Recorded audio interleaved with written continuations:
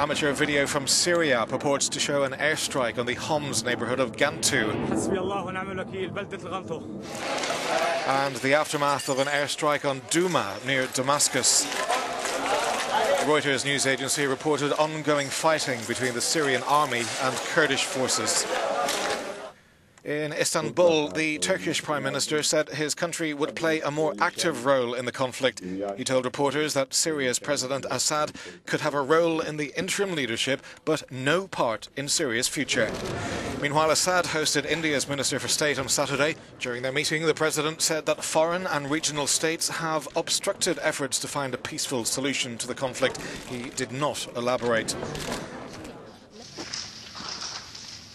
And activists in the rebel held Damascus suburb of Daraya have accused Assad's forces of targeting the town's only field hospital in an incendiary weapon attack on Friday.